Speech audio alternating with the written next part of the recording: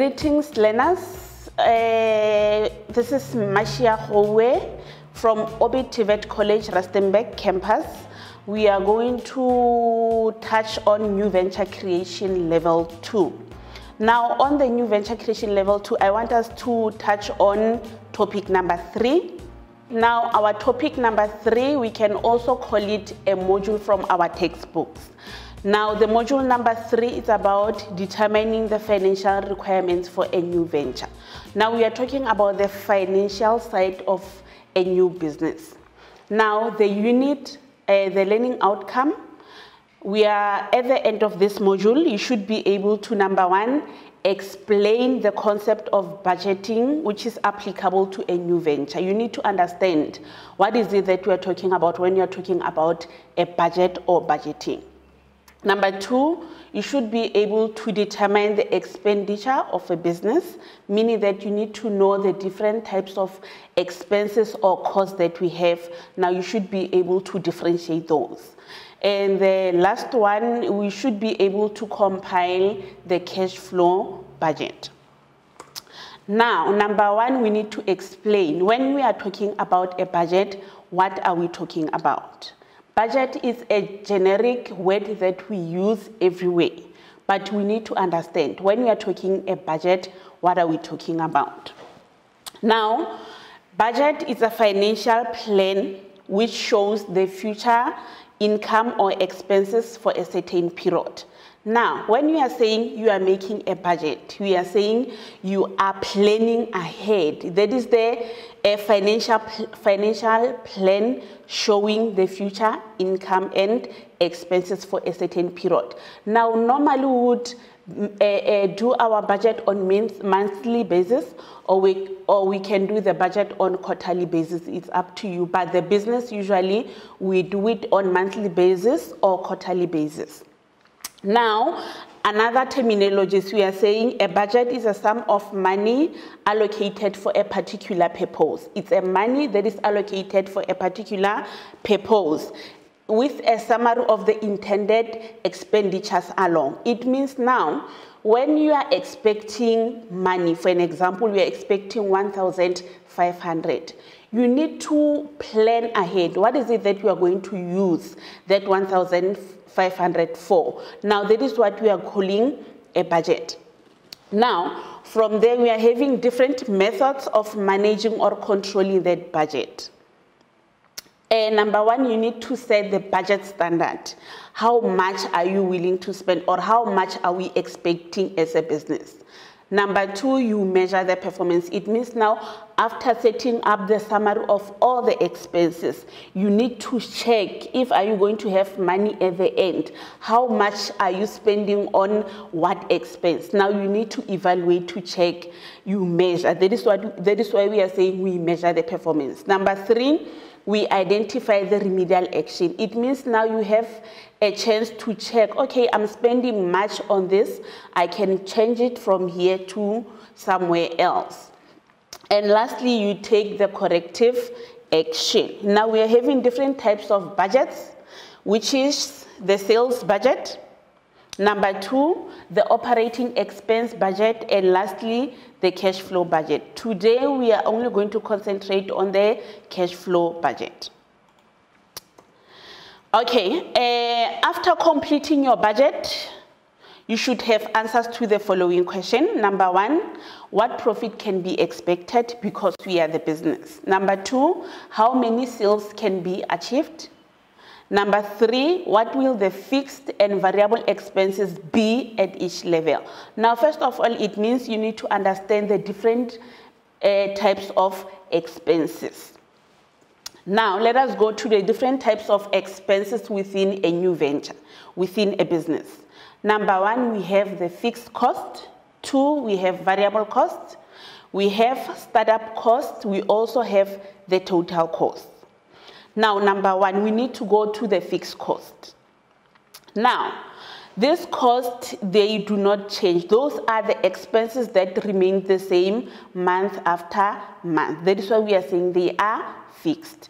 Now, an example of the fixed cost, we are talking about rent. We are talking about interest on repayment. We are talking about the salaries. Why? Because if you have made an agreement with the landlord that you are paying 2000 for your rent, for the business rent, whether you have made a profit or not, you still had to maintain the agreement that we made. That is to pay that rent, whether the business has made a profit or not. That is why we are saying it's fixed. Number two, variable costs.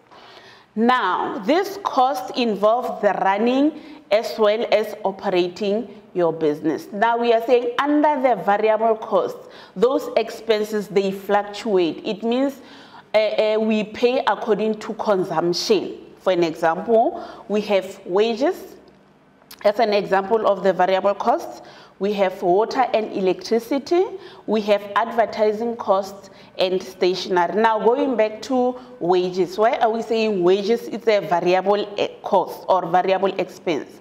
Now remember wages is the money that we pay to our employees for performing a certain duty. Now we can pay those employees on hourly basis, we can pay them on daily basis or on weekly basis. That is why we are saying it's a wage. You pay someone because he did this job that we agreed with and that's that.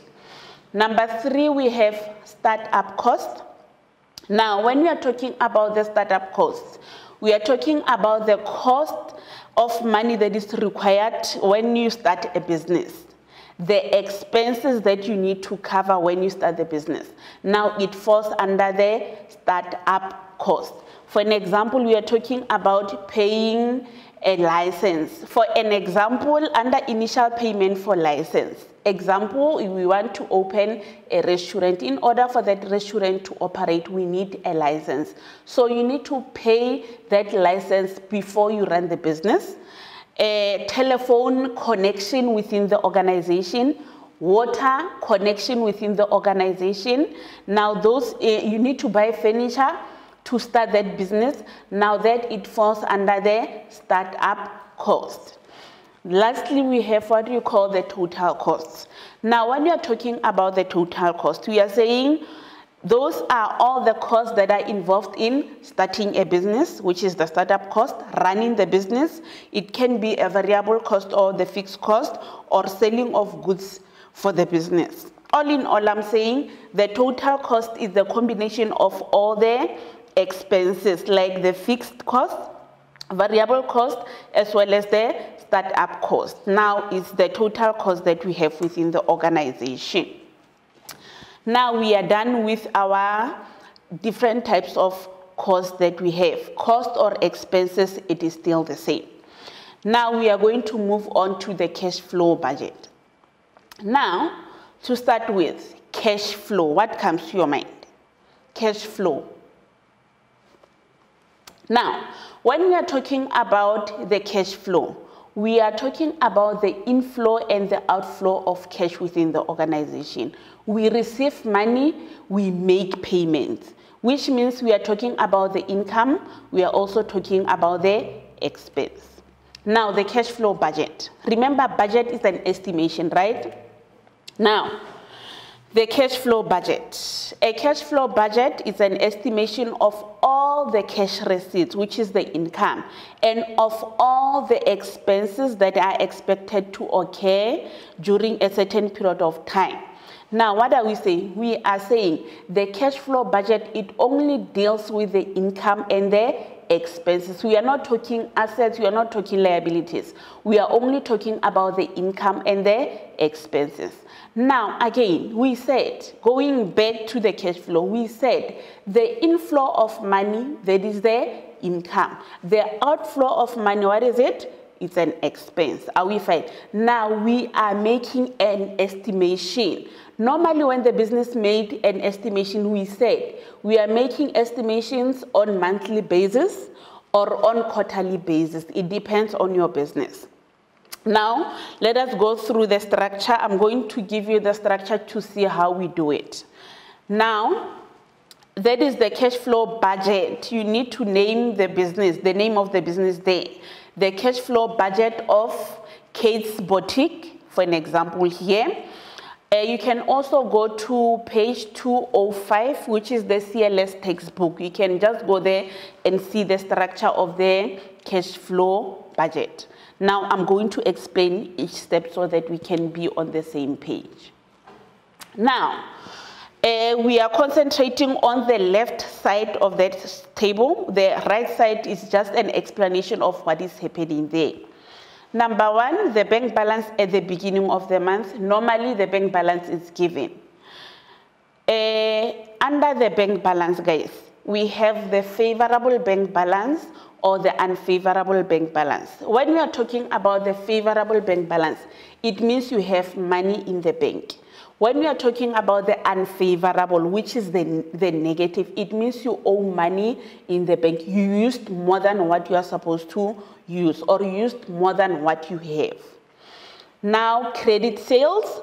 Credit sales, we only record money under credit sales if you are given the instructions to do that. Number three, the cash sales. Now, the cash sales normally is given on the case study it should be the estimated income. Normally it's given. Uh, other income, other income, let's, let's go back to Kate's Boutique and let us stick to Kate's Boutique. Now, Kate's Boutique, a boutique is a, it's a shop that sells clothing, different kinds of clothing, luxurious clothing. Now, other income under Kate's Boutique, we'll talk about Kate selling and iron to other boutiques because she bought another one. So that money that she receives from selling the iron or the steamer, besides selling the clothes, is going to fall under other income. Now the total cash available, we need to add number one, which is the bank balance at the beginning. We add credit sales, we add cash sales and other income. We get this, which we call the total income. Ah, I take that all of us, we are fine with it. I'm saying bank balance at the beginning of the month, normally it's given. Credit sales, credit sales, you only enter the amount if you are given an instruction to do that. If there is no instruction about the credit sales, you leave them because maybe Kate does not sell anything on credit. So you leave it if you, there's no instruction related to the credit sales. Number three, the cash sales. People, I'm saying the cash sales, it is the same as the estimated income. It is given. If it's not given, you'll be given on the case study that you know you are going to sell this amount of money. Now it is going to fall under cash sales. Now other income. Other income, I'm saying, Besides selling clothes, you can earn an income within that organization. Now you are going to write it other, under other income. Now that is the total cash available we add. That is the inflow of money. We have determined the inflow of money within the organization. Then let us go to the outflow of money. It starts with monthly expenses. Remember we talked about the total costs. I get it, guys. Now under the monthly expenses, we are talking about the total expenses or we add the average uh, uh, expenses. Now what am I saying? We are saying at the end of the month, we know that the business needs to pay rent, the business needs to pay suppliers or whatever. Now, those regular expenses that we make, that is why we, are, we, are, we call them the monthly expenses. Then we have the cash purchases. Normally, they are called the estimated purchases. From the textbook, normally they are given. Now, under other payments, that is number eight. People, other payments, we are talking about the expenses that do not occur on regularly or on monthly basis. For an example, you decide to buy a new iron, maybe Kate's boutique. You decide to buy a new iron. Now, because we are not buying irons on monthly basis, we are going to uh, uh, put it under other payments. Now, the total cash payments, which is number nine, we are going to add monthly expenses, cash purchases, and other payments. That is how we get our total payments. Lastly, bank balance at the end of the month. People, it means now we want to check if you are going to have enough money at the end of the month. Now we are going to take total cash available, which is the money that we received, minus the total cash payment, which are our expenses. Now we get the bank balance at the end of the month. So guys, usually I would, uh, uh um, I, okay, bank balance at the end of the month. I'm saying we take the total cash available, which is the income, minus the total cash payments, which are the expenses. Now we get the bank balance at the end of the month. Guys, on our cash flow budget, if you are doing it on quarterly basis, it means what you have at the end of the month will be the opening for the next month. Again, we talked about the favorable bank balance as well as the unfavorable bank balance. We said when you are talking about the favorable bank balance, it means you have money in the bank. It means the total cash that you received is 50,000 and the total payments is 40,000. It means at the end of the month, you'll be remaining with how much? With 10,000. That is a favorable bank balance because you received 50,000, you made payments of 40,000. Now you are remaining with how much? 10,000. Now that 10,000 that we have at the end of May will be the opening for June. Okay, we are going to do the activity together. I took the Kate's boutique example from 2019 March previous question paper. Now I want us to go through that so that you can understand what I'm saying. I want to show you exactly what I'm talking about when I've been talking about the ones, the twos, and the threes. Now let us go to the cash flow budget here. We are still talking about the cash flow budget of Kate's Boutique because we've been talking about it all along. Now, what I'm saying is that the bank balance at the beginning of the month plus cash sales plus credit sales plus other income. Now you'll see that there is a question mark here. Now it means we need to calculate how much do we have. Now we add all this amount. 46,000 plus 23,000 plus 8,000 plus 2,000. Now we are going to get 79 thousand. That is the total income, this one. From there, we are talking about the expenses. Monthly expenses, which is 7,200. We add with 18,000 plus 3,000. Now, it means we only add these three so that we can get the total payments. Now, the question mark again here. Now, our question mark, uh, our total payments will be how much? It will be 28,200.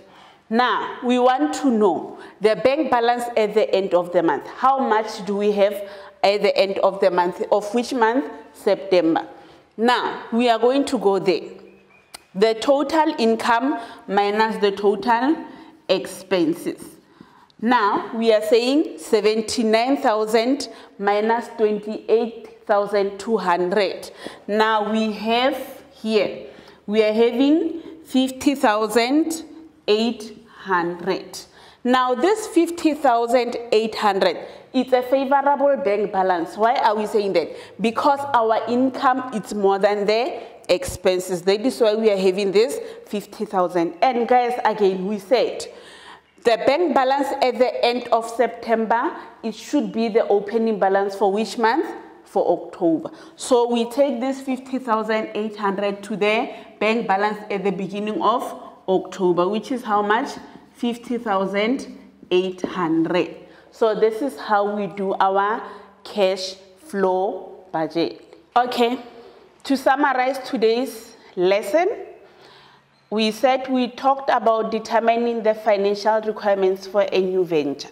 I take that all of us, we understand the term budget. Remember we said what is a budget? A budget is a financial plan. It's an estimated financial plan for future income and expenses. We talked about different methods that we can use to control our budget. We talked about different types of expenses like the fixed cost or the fixed expense, which are those expenses that remains the same. We talked about different kinds of cost, variable cost. We talked uh, total costs. We also talked about the difference between the income and the expenses. We talked about the cash flow budget. I take that all of us, we understand. If you don't understand, you can contact the college social platform. They'll be able to help. I'll also be there to help you. Uh, thank you for listening. Uh, stay home, wash your hands, and stay safe. Thank you.